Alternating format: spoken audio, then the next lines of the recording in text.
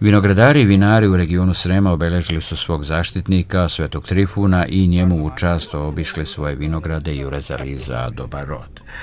U tom pogledu je u Berkasuru održana već tradicionalna ovaj put 21. po redu Sremska vinijada uz takmičenje u ocjenjivanju kvaliteta belih i crvenih vina. Stručna komisija nadležna za ocjenjivanje potrudila je se da svaki element koji utiče na ukupan kvalitet vina boduje i sabere kako bi se dostikao kvalitetan rezultat vina. Treba znati e, sorte, treba znati tehnologiju, tipove vina, treba znati mikrobiologiju i onda možeš ravnopravno da učestvuješ u jednoj komisiji meritorno da ocenjuješ vino. Znači, ocenjuje se e,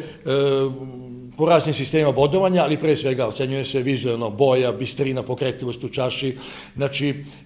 miris vina, e, intenzitet, kvalitet vina, da li ima stranih nekih primesa, da li je čist miris, da li je sortni, koliko intenzivan sortni, e,